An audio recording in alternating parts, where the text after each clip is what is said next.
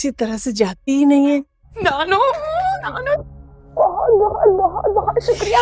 अगर आप न होती तो शायद जोश में होश नहीं खोते समझ गई ना? ऐसा बात क्या कर? पर इधर उधर देख के बोला कर वो कुम बख्तरानियाँ भी यहीं आ गई ना इस घर में। क्यों? डरते हैं हम क्या उससे?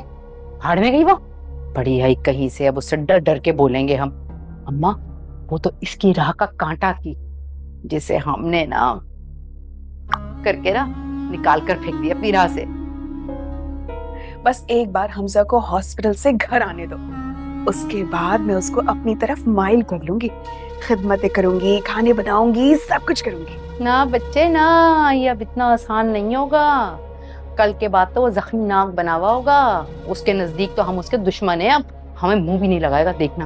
अरे अम्मा तुम क्यों उसकी फ़िक्र करती हो? मैं हूँ ना। मैं देख लूँगी सब कुछ। अल्लाह तुझे कामयाब करे बेटा। और हमने जितने झूठ फूट बोले ना सब हो जाए काम जिसके लिए हमने इतना झूठ बोले। बस तुम मुझे वो लोशन पोशन ला देना अपना इसमें हाथ की जलन और मेरे बदन की जलन खत्म हो जाए। ला के देना जल्दी से।